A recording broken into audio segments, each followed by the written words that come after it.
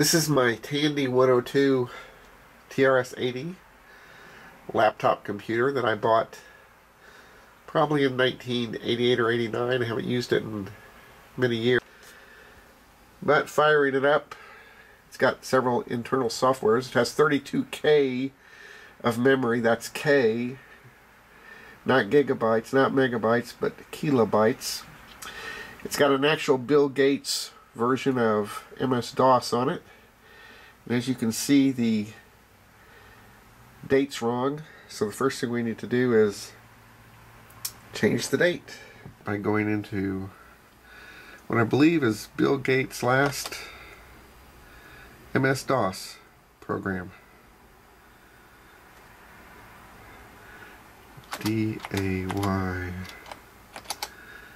equals Tuesday? Date equals April 3rd 2012 but I can only use two digits. That doesn't look good does it?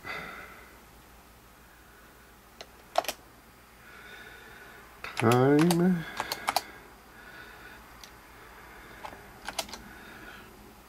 equals military time, so that's 1745, call it.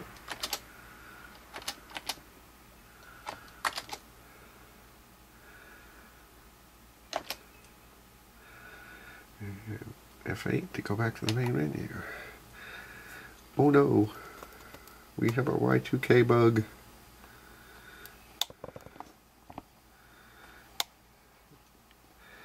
April 3rd, 1912. Ah. Well, I think we can still use it. When we get around to doing my bigger review, we'll just ignore that. Kind of odd that we get a Y2K bug 12 years later. So like I say, sometime in the future we'll look at all the different softwares and try and log on to a bulletin board on the phone modem if I can find one that's still operating. So. Hope you enjoyed the Tandy 102.